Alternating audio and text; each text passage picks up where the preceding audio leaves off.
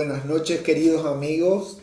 Como siempre, muy felices de poder volver a estar con ustedes, de compartir esta nochecita eh, fresca. Espero que hayan pasado una linda semana, que ahora vamos a hacer un poco un resumen porque esta es nuestra décima eh, edición es nuestra décima edición y es el, final de nuestra primera temporada. Eso quería avisarles de que volveremos a encontrarnos el domingo 23 porque ahora cambiaremos de día. Resulta que como todo esto es a pulso, a atracción a sangre y todo a pulmón, como diría Alejandro Lerner, eh, vamos a cambiar de día por los domingos. No sé si les quedará bien o no, pero nos gustaría mucho que nos sigan acompañando eh, en, este, en esta nueva temporada que vamos a tener. Bueno, hoy nosotros queríamos hablar de un tema muy importante, pero nos fue muy difícil, ¿verdad Cristina? ¿Qué tal? Muy bien, muy bien. Hola, ¿cómo están todos? Eh, ya les, les anticipó Pablo del cambio de día. Espero que les quede re bien, ¿verdad? Porque el domingo ya estamos más tranquilos, más, estamos más en nuestra casa, estamos más descansados, esperando el lunes. Entonces, bueno, eh, referente a nuestro tema de hoy, Resulta que nosotros quisimos invitar a una persona para que nos hable de propiedad intelectual. Pero bueno, por protocolo y por un poco de burocracia también, ¿verdad? No pudo ser posible para esta oportunidad. Vamos a ver si podemos para la próxima. Estamos en tratativas con eso, ¿verdad? Que me parece un tema muy interesante muy eh, amplio. Especialmente ahora que aparecen tantas falsificaciones. Totalmente, ¿verdad? Y para que este, esta gente que domina el tema del, de la propiedad intelectual eh, especifique, nos especifique a nosotros eh, sobre las artes visuales, especialmente para los artistas que están dentro de las artes visuales. Bueno, eh, no pudo ser, pero entonces tomamos la posta del siguiente, del tema. siguiente tema que teníamos, ¿verdad? Que es un tema en el que yo creo que domino. Como un pez en el agua. Como un pez en el agua. No vino genial porque lo otro iba a ser con invitado y todo ese tipo de cosas, ¿verdad? Bueno, vamos a ir directo a nuestro tema. Yo creo que sí. Sí, sí, sí. Bueno, nosotros vamos a tocar esta noche el tema de enmarcados. Eh, es un tema eh, muy importante dentro del arte porque generalmente, ¿qué es el enmarcado? El enmarcado es el accesorio principal de una obra de arte. Por ejemplo, eh, las, las pinturas, las obras sobre papel es imposible exhibirlas sin marco. Eso es así, pero definitivo. Es imposible exhibirlas sin marco y tal vez las obras que están hechas sobre tela o sobre madera, eh, que llevan un bastidor, entonces sí, se puede exhibir, pero las de papel son imposibles de exhibirlas. Bueno, ese accesorio tan importante no solamente se utiliza para el arte, se utiliza también para eh, los títulos, para láminas, por ejemplo. Eh, yo diría también de que el, enmarcado es una, se hace para protegerla la obra. Total. y, también para exaltarla. Claro, para resaltar, para que eh, tome protagonismo, ¿verdad? Exactamente, sí, sí, sí. Bueno, eh, a veces llega la gente acá a la galería y yo tengo muchísimo trabajo de marco, entonces pregunto, ¿verdad? ¿Quiere con passepartout? Y ahí empiezan a dudar porque no saben lo que es el passepartout. Entonces, el passepartout es el espacio que existe entre la obra y el marco, que generalmente se utiliza para hacerle más grandilocuente, para hacerle, darle más prestancia. Acá tenemos, mira. Sí, mira, justamente detrás tuyo y ahí aparece un paspartú negro. negro. Sí, eh, yo soy muy partidario del negro porque el negro me parece una cosa fina, sofisticada, eh, y mucha gente viene y dice, ¿qué te parece? ¿Qué, ¿Qué, color le podemos poner de paspartú podemos ponerle a esta obra? Y yo digo negro, por ejemplo. No, no, no, no. Pero no compite también con el color. Sí. No compite con el color, al contrario, le realza al Le da finura, le da finura. Sí, sí. Entonces digo, yo me pregunto nomás en mis adentros, y esto digo así son de chiste, si ya sabe cómo quiere, ¿por qué me pregunta? Eh, a veces, eh, bueno, son cosas, gajes del oficio, de, recibir a las personas que están eh, indagándote a ver si vos sabés y cómo te gustaría y todas esas cosas. Hablando del paspartu, Sí. eh, otro tema con, es decir, no sé, con un eh, con lo que te- uno se encuentra es cuando le decís, bueno, vamos a ponerle tal color, porque te referís eh, a uno de los colores que predomina en la obra, ¿verdad? Sí. Y te dicen, pero no, pero yo no tengo idea de cómo va a quedar. ¿Podés preparar ese color y mostrarme? y eso es imposible, porque ¿cuántos colores tenés que preparar? Pintar todo el passepartout, armar, semi-armar, no hace falta armar todo, semi-armar y ahí va eligiendo. Yo creo que eh, con un pedacito, porque siempre hay un muestrario, ¿verdad? Sí, claro. Una- una- un muestrario básico también, ¿verdad? Porque hay Sí, sí, sí. tantísimos colores que, que, bueno, hay 1200 colores y no, no se puede preparar 1200 colores Claro. de passepartout, ¿verdad? Pero el color, hay algunos, hay algunos clásicos, ¿verdad? Sí, eh, como el marfil, por ejemplo. El marfil. El negro, el azul noche, que es un azul marino. Eh, y después ya se puede eh, ver otra, o- o- otro- otra escala de colores que puedan irse, que puedan ir eh, y combinar con la obra. A mí generalmente me gusta el contraste. No sé, me gusta el contraste. Me gusta que la obra tenga un contraste y que también el marco con el passepartout contrasten. Acá hay unos amigos que nos están estimulando. Sí. Asunción, por ejemplo, José Quevedo nos dice, buen tema, muy buen tema, capísimo. Cierto, José, porque hay veces que tenemos que, eh, yo creo que la terminación, yo suelo decir que eh, un buen maquillaje en una mujer, ¿verdad? Un buen maquillaje sin un buen peinado no funciona. Y para mí, el maquillaje es la obra. Y el peinado es el marco. Yo, yo relaciono las cosas de esa manera, ¿verdad? Pero yo creo que sí, que es, le complementa, le, le completa. Es la ropa también. Es la ropa. Yo, sí, yo, también, yo suelo ¿verdad? decir que es la ropa de, de la obra. Sí, el ropaje, el ropaje, sí.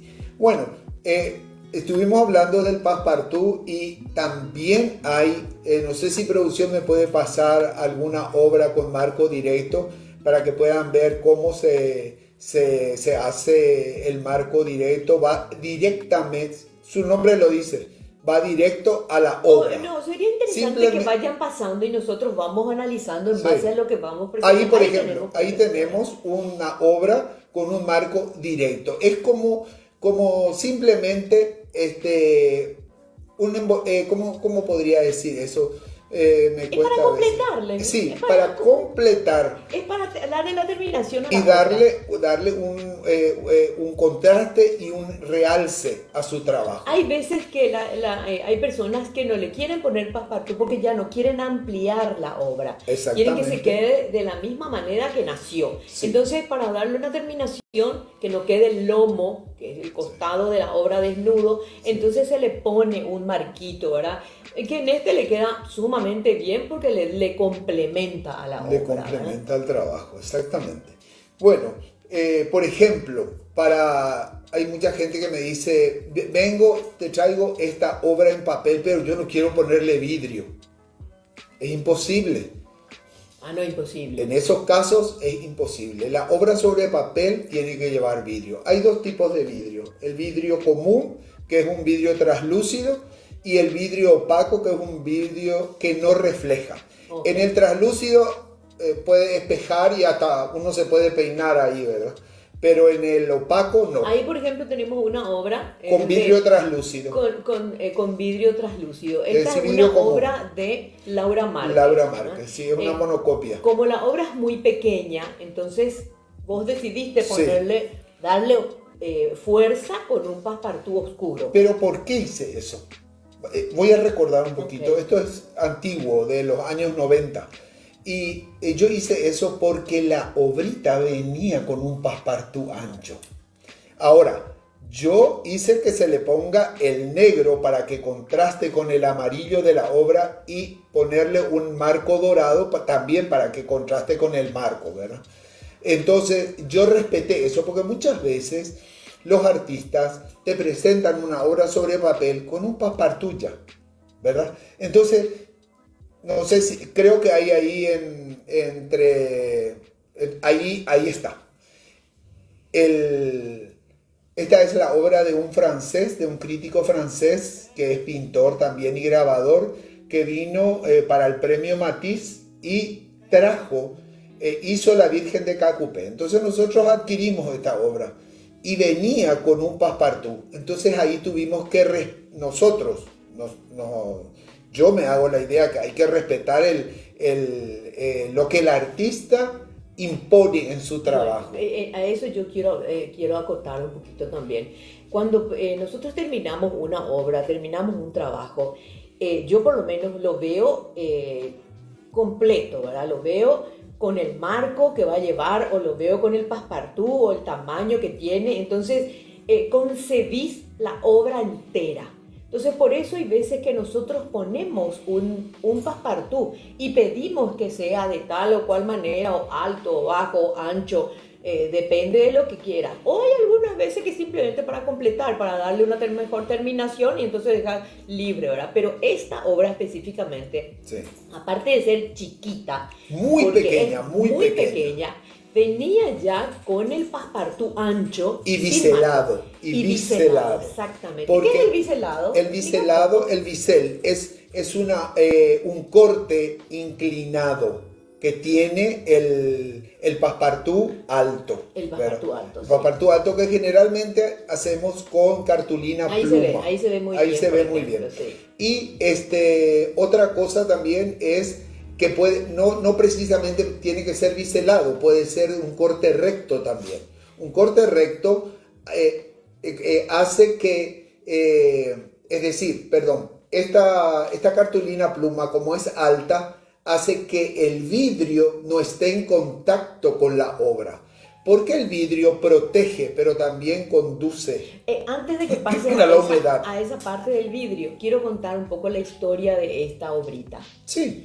Eh, esta obra es, eh, como dijo Pablo, es, está hecho por un crítico francés que en la primera vez que vino, creo que fue para el premio Matisse. Sí, para el premio Matisse. Vino para el premio Matisse y él después de volver a su país, él creo que recorrió cosas, vio un montón de cosas y él se quedó con, con la Virgen de Caacupé. Esa es la obra de la Virgen de Caacupé, es una imagen de la Virgen de Caacupé.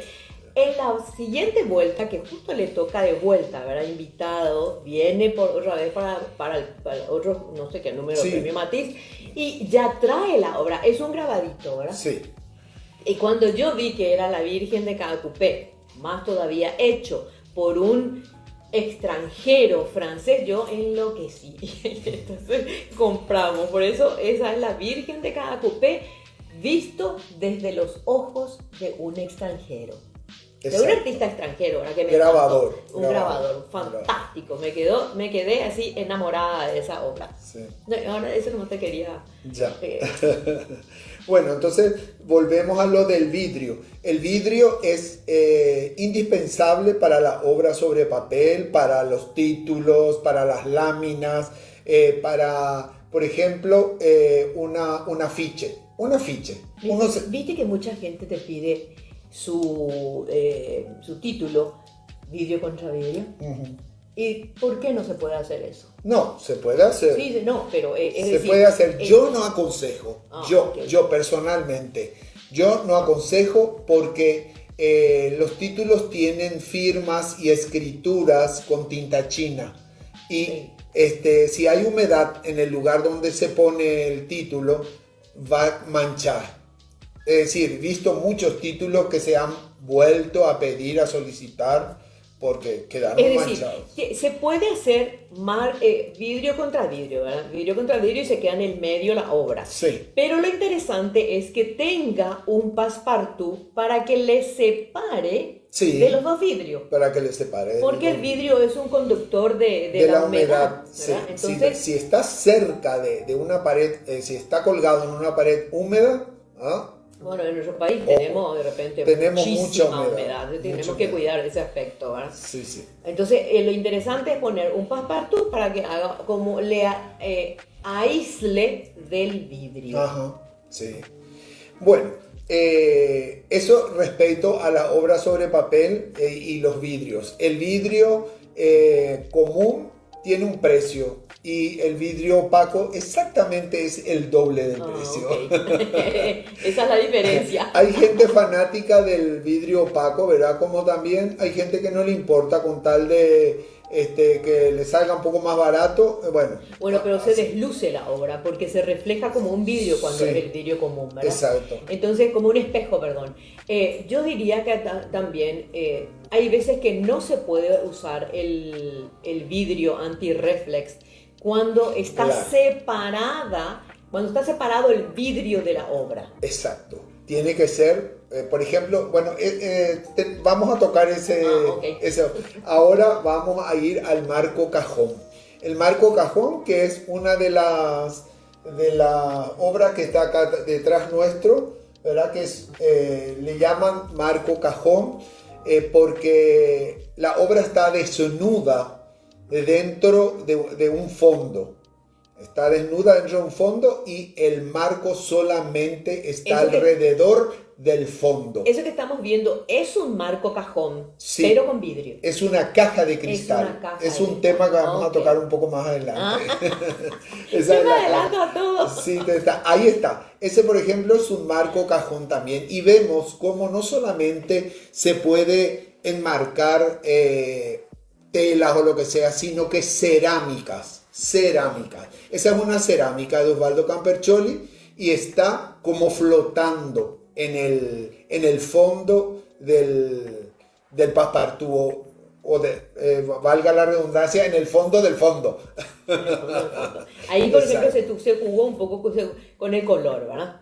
Entonces, Bueno, eso es, eso es lo que el artista, el artista eligió. eligió y me trajo así como está. Por eso yo no cambié nada. Me gustaría cambiarle ese rosado. Ah, no, pero si el artista lo concibió así, ¿por qué lo vas a cambiar? Y bueno, hay, hay cosas que, que me gusta que los artistas hacen, pero otras veces no tanto, ¿verdad? Oh, Bueno, ahí este, ese es el marco cajón, el marco que, eh, ¿cómo se llama? Se hizo famoso en los años 80, finales de los 80, porque no es, una, no es un tipo de, de marco que se utilizaba y para los extranjeros es novedad. Generalmente cuando viene un extranjero y le propones hacerle un marco cajón, dice, wow, qué novedoso, nunca vi, dice, Y se puede usar cualquier varilla con el marco cajón. ¿No hay acaso algunas varillas muy bajas que no tienen tanto lomo? Sí. Y, y- y la obra sobresale mucho. ¿Qué? No, no, claro. A mí, por ejemplo, no me gusta que la obra sobresalga. Me gusta, me gusta más que esté al nivel del marco. Ok. Al nivel del marco. Si sobresale mucho, hay que calzar. Ese es otro trabajo extra que se le Hay que calzar. A la obra. A la perdón, obra, perdón, al marco. Al hay que marco. calzarle para que levante un poquito y quede a nivel de la tela. Bueno, pero cuando vos calzas algo, entonces ya cambia el precio también. Sí, lógico, Ah. porque hay que comprar más material, más insumos, etcétera, etcétera. Ok. Luego viene la caja, pero de cristal, así le llamamos, caja de cristal. ¿Por qué? Porque es una caja, pero tiene un cristal por delante para proteger el objeto. Por ejemplo, el que estamos viendo en este momento es un abanico pintado por vos, intervenido por vos, eh, y está dentro de una caja de cristal. Se pueden poner en la caja de cristal también cartulinas, obras en cartulina y sobre papel eh, con un soporte por detrás para que quede flotando. De eso está, de, ahora llegamos a lo del flotado, ¿verdad? Ah, que la obra esté flotando, queda como que eh, está suspendida, Suspendida. en el aire, ¿verdad? Pero no, está bien amarrada a un Sí, soporte lógico. que atrás que lo hace, eh, que hace que, que la obra aparentemente flote, ¿verdad? Esas cajas de cristal, eh, estas, por ejemplo, estas eh, muñequitas son una caja de cristal. Esta es una caja de cristal, sí, y está hecha su base con un marco también. Esto lo hicimos en nuestros talleres, sí, eh, con un marco especial que viene, que se utiliza como marco cajón, pero que nosotros la utilizamos como base de estas esculturas blandas que también son de tu autoría. Es decir, se pueden usar eh, tanto para marco cajón como se puede usar como una base. Como una base para una caja de cristal. Ahora, la caja de cristal no solamente esta, la caja de cristal es la que vimos ahí, que producción nos mostró el abanico intervenido por vos, eh, que está pegado al fondo, pero no tiene contacto con el vidrio. Pero para protección, como es un abanico delicado, de organza, eh, es claro, en el ambiente hay mucho polvo, mucho smog y también muchas moscas. Entonces, bueno, hay que proteger estos objetos. Es decir, no solamente la pintura en sí, el papel o la tela se enmarca, sino también los objetos y la cerámica. Sí, ah, la cerámica también. Eh, ahí también había eh, salió una caja de cristal de, una, de una obra de Osvaldo Salerno. Ah, sí. Pero está hecha sobre tela, ¿verdad? Sí, sí. Esa obra está hecha sobre, ahí está. Ahí está. Está hecha sobre tela, pero está dentro de una caja de cristal. Está dentro de una caja de cristal, pero esta tiene la particularidad que aparte del primer bastidor, tiene otro bastidor pequeño eh, eh, pegado o empotrado dentro de la misma obra. Para una cosa así, Ahí esas son, ah, para este tipo de cosas solamente es el vidrio común. El vidrio común, claro, para que se pueda eh, ver bien, porque si ponemos un vidrio difuso, opaco o antirreflex por delante, la imagen de la obra queda difusa. Pero cuando está bien, está más cerca, por decirlo así, no pegado, ¿verdad? Porque no se puede pegar. Es importante tener en cuenta que no se puede pegar sobre una obra directamente el vidrio, ¿verdad? Entonces, cuando es una obra que está más cerca, eso sería eh, interesante para que no tenga reflejo. Exacto, sí, se puede hacer eso. Eh, muy bien. Eh, ahora volvemos a lo del passepartout eh, biselado o recto, ¿verdad? Que es eh, que ya habíamos visto anteriormente, pero quiero recalcarles de que eso es muy importante para la obra sobre papel. Cuando tenemos un grabado, tiene blanco, etcétera, etcétera, es claro, hay que ponerle un marco, un passepartout alto, ya sea de corte recto o de corte biselado. Yo no hago con corte biselado porque me falta tecnología. sí, pero si de repente necesito algo biselado, tengo mis colegas que sí tienen, entonces eh, eh, acudo a ellos para que pueda ayudarme en ese aspecto. Sí. bueno, después aparecen dentro de la gama de, de trabajos de arte los dípticos, trípticos y polípticos, ¿verdad? De repente una persona eh, viene, un cliente, y dice, quiero eh, enmarcar este políptico, pero yo quiero una separación de 10 centímetros luego cada uno de estos cuadros.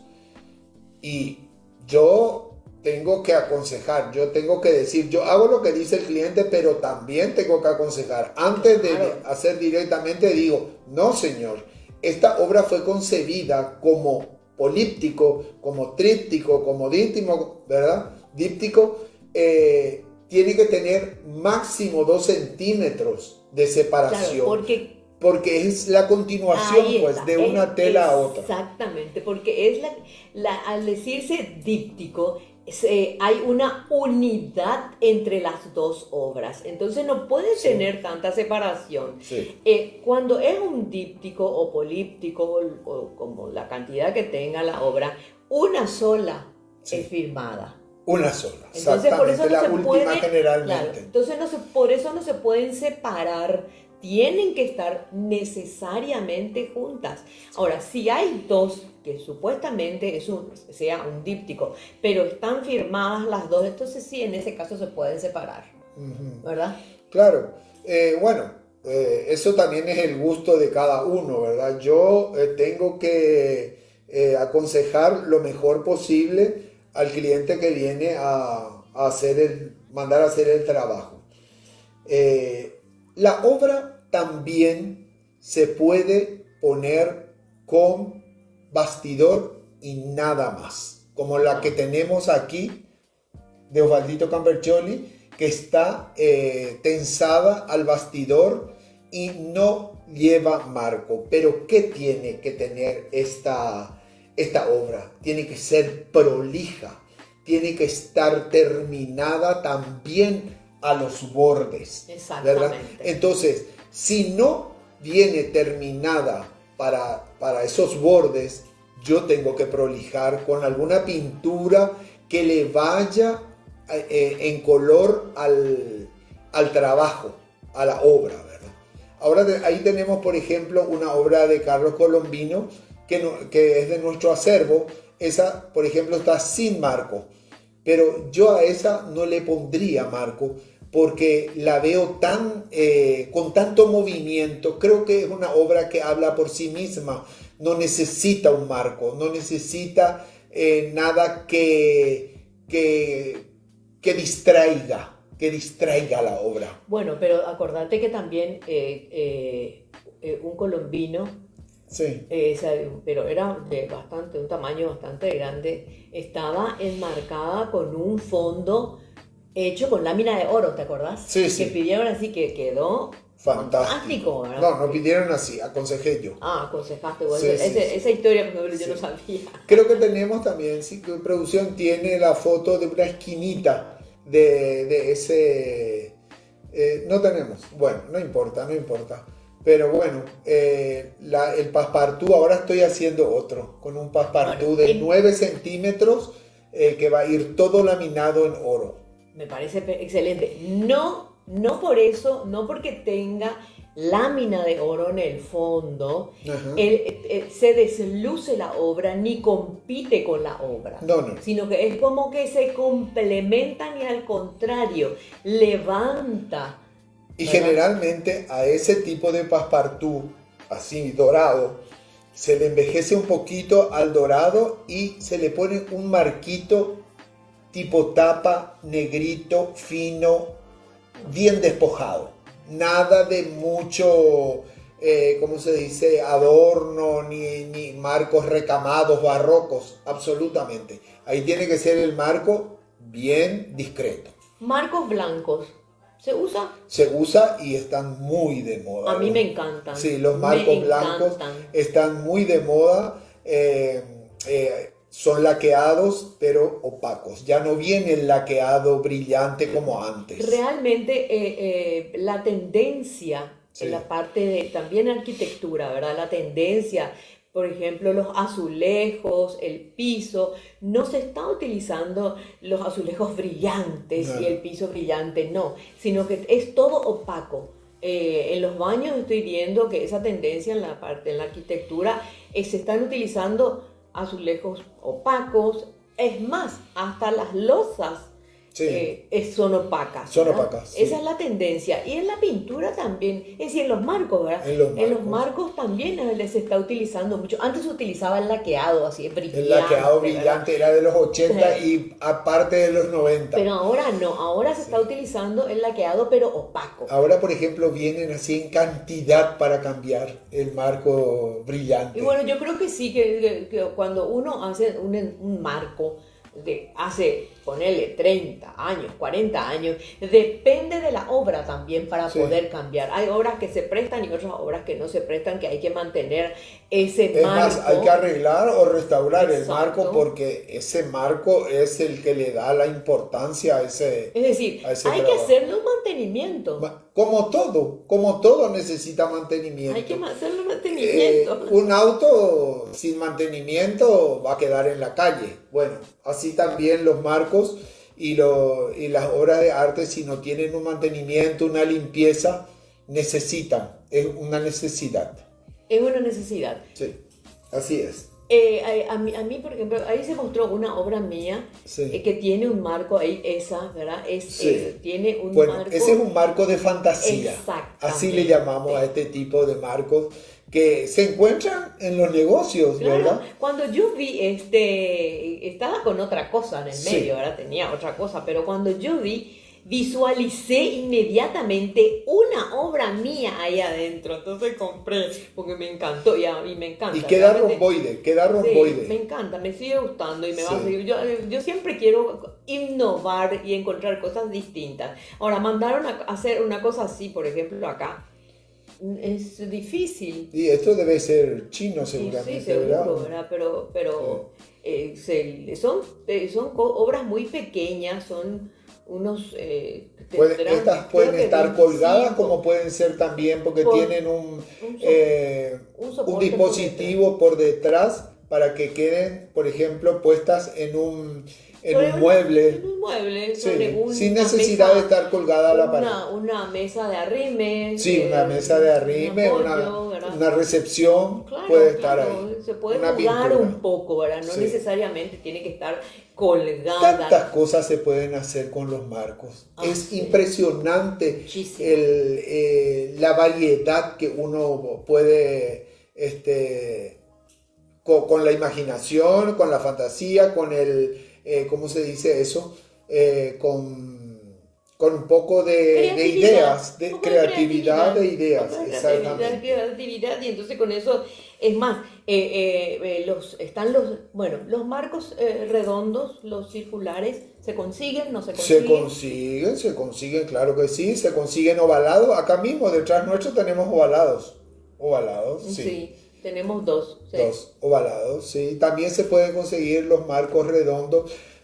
Eh, lo que pasa es que salen muy caros porque eh, se utiliza, eh, tiene que ser madera, tiene que ser un carpintero.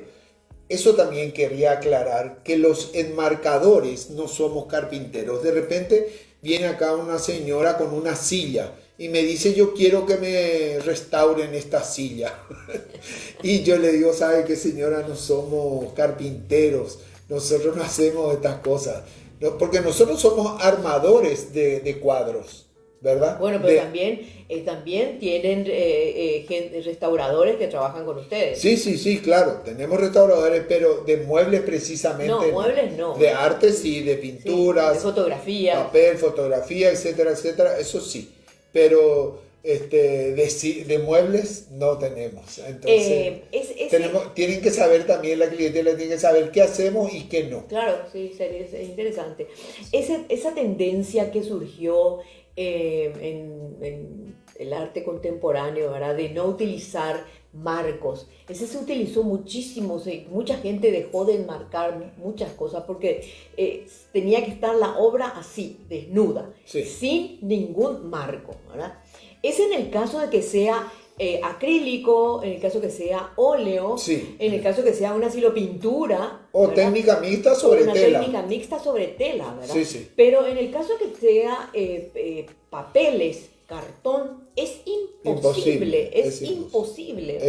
Tiene que estar protegido, necesariamente tiene que estar protegida la obra. Así que también volvamos a, centrar nuestra conversación, el, el tema de la obra con bastidor como la que tenemos acá, tiene que eh, hacerse bien prolija.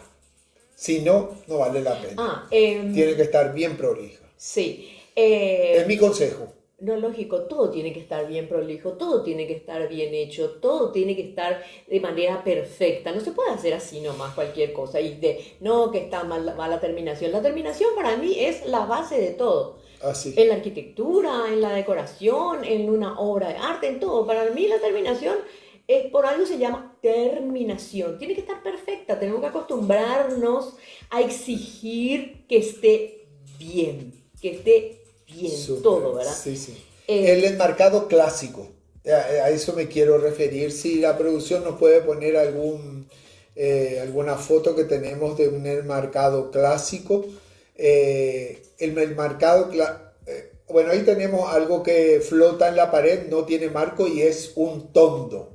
Tondo le decimos a los redondos. En, la, en, en el idioma de las artes plásticas.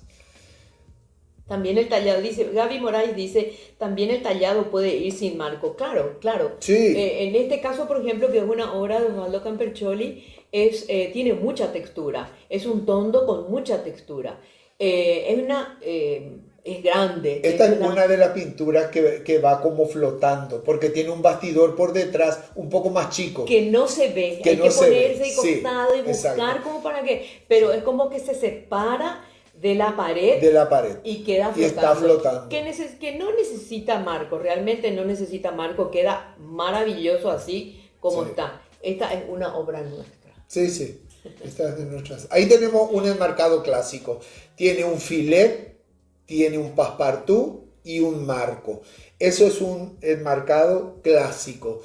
Clásico le llamamos porque es eh, un poco em, de modé, ¿verdad?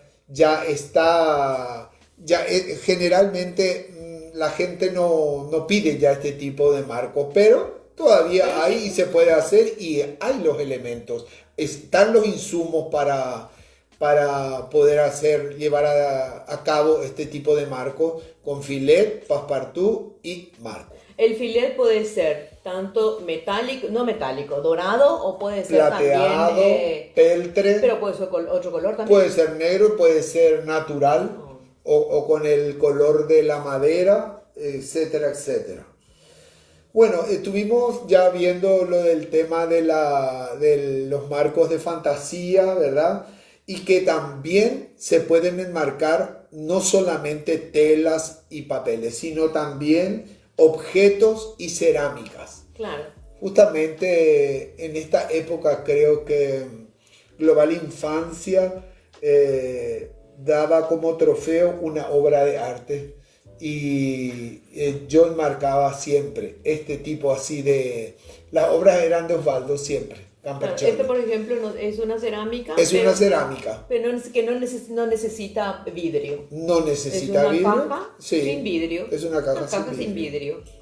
Bueno, Es interesante porque los otros sí necesitan vidrio, este no necesita vidrio, pero sí, Sí. te puedes jugar un poco. Pero es interesante saber qué es lo que se puede enmarcar con vidrio, qué es lo que no se puede que sin vidrio. ¿verdad? Entonces es, eh, eh, es sumamente importante saber. ahí tenemos un marco cajón también que resalta mucho esa obra de Manuel Fretes Roy, espectacular, con fondo negro, como a mí me gusta, porque yo soy fanático del negro. Marta nos dice que es súper interesante, que está, se comunican con nosotros. Muchas gracias. ¿Marta por- quién?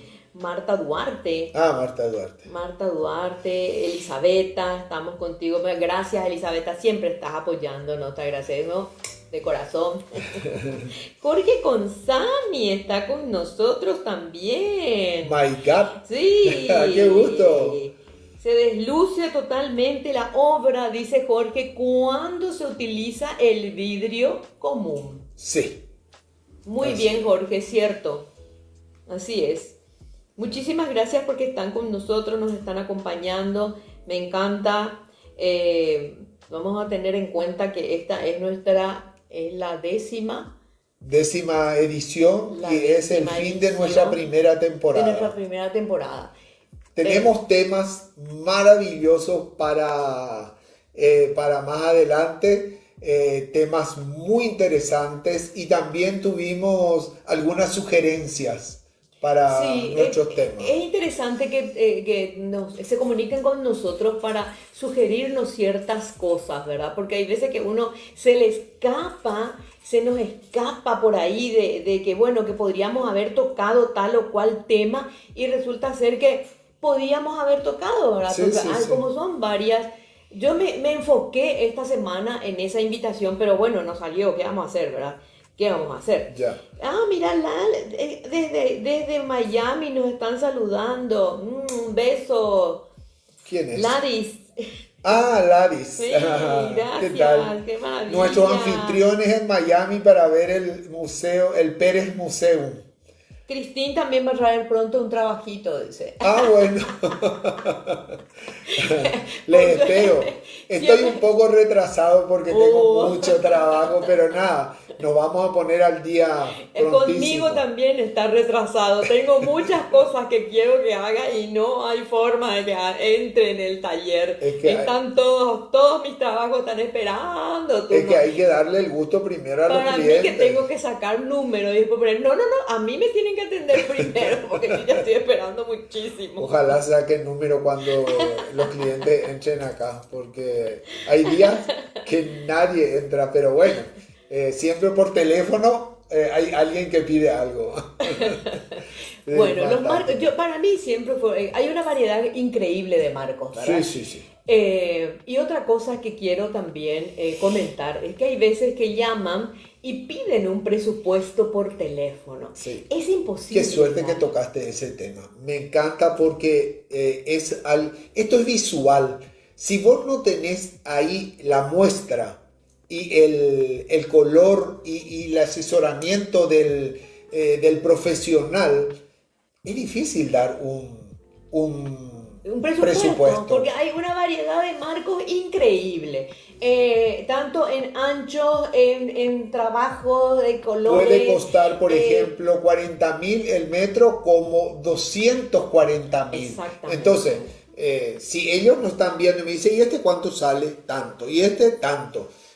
Ahí empezamos a entendernos más porque como la cosa es visual. Y no, y si, viene de repente una obra que como vos recién dijiste, que no tiene los lomos pintados, sino que solamente la cara, la tela en sí, los laterales no están trabajados, no tienen terminación, entonces eso es otro, es un, es un trabajo más. Es un trabajo, no, no solamente un trabajo más, sino que vos tenés que decirle al cliente, tiene que saber de que eso va a ser únicamente intervenido, esa parte, por mí. ¿verdad? Es decir, por claro. Hay, que hay, que avisarle al cliente que no diga no. Que no diga no, ¿por qué me pintaste? Claro. Entonces, o, o, no quiere que se le pinte o que se pinte. Es decir, hay muchas cosas.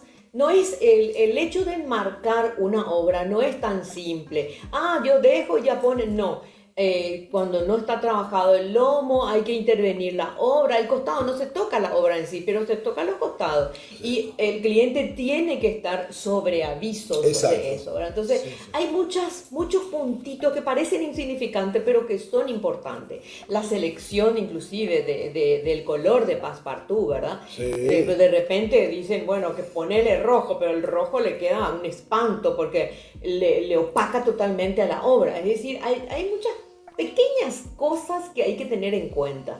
Que es una cosa delicada, ¿verdad? Eh, Ana María Esquiabone, felicitaciones. Ah, gracias, nuestra antigua amiga del colegio Juan Ramón Dalquis. sí. sí, estamos. Bueno, la verdad que hoy, tocamos un tema, em, es tu tema. Sí. Eh, estás más vos en ese. Yo de repente meto mi cuchara cuando él dice, no, ponele tal color. Y digo, no, le queda mejor tal color. Es que yo veo. Lo que pasa es que yo cuando eh, visualizo un trabajo, ya visualizo con el color, no solamente el mío, ¿eh? no solamente lo mío, sino visualizo con el color de Passepartout que le va a quedar así fantástico. Si le convenzo al cliente, bien, pero si no le convenzo, bueno, paciencia.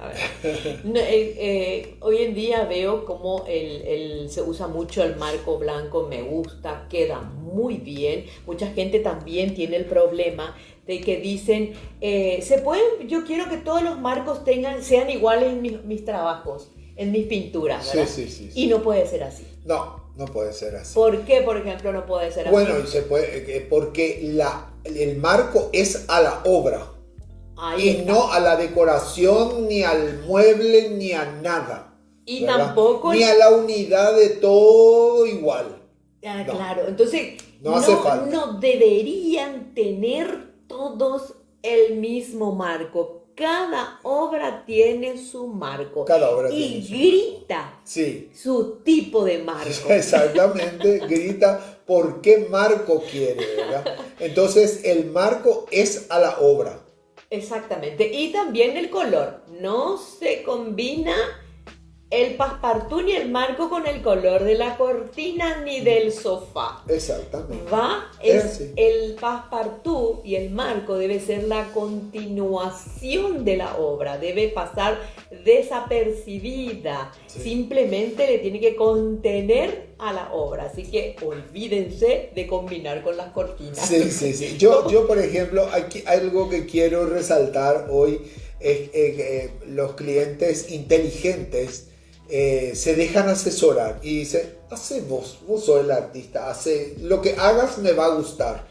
Bueno, o sea, una satisfacción muy grande que algunos clientes eh, me dan a mí, ¿verdad? Pero hay gente que sabe lo que quiere. Elisabetta pregunta, dice, entonces mis obras de naif, ¿qué?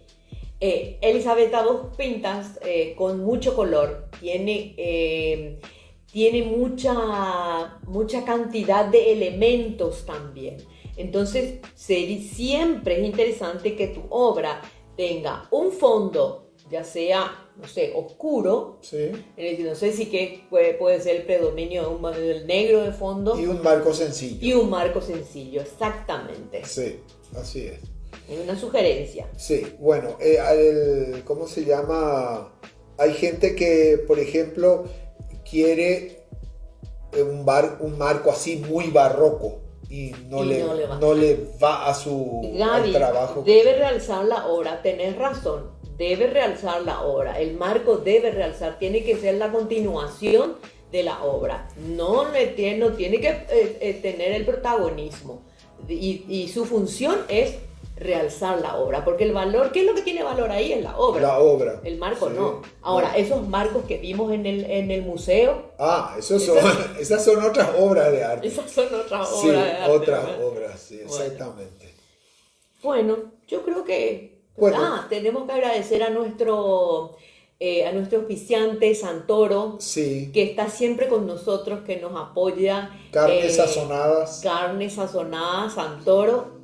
Hoy vamos a tener unas hamburguesitas que vamos a hacer después. Ah, sí, que vamos a comer las hamburguesas de Santoro. Hoy no hay salida, por supuesto, porque estamos en época de pandemia. Vamos a tratar de quedarnos en nuestra casa, vamos a cuidarnos un poco. Vamos a comer nuestra hamburguesita, nuestra caja que gentilmente Santoro nos hizo llegar, que ya tiene el, la, hamburguesas, el pan, la panceta, el quesito, así que eh, hasta la mayonesa. Gracias Santoro, vamos a disfrutar de eso.